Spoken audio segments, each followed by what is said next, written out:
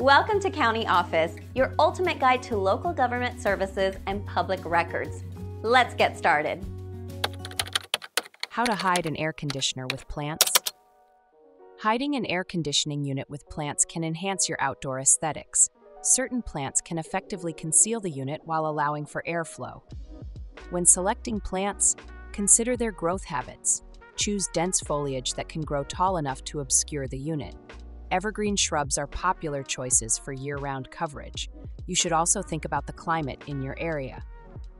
Some plants thrive in specific conditions, so select those that will flourish in your environment. Placement is crucial.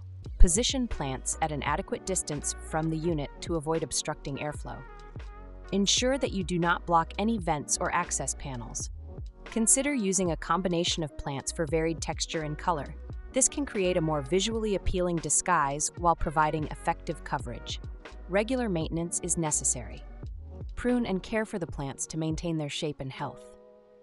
Healthy plants will provide better coverage and enhance your outdoor space. Research local regulations regarding plant placement around air conditioning units. Some areas may have specific guidelines to follow.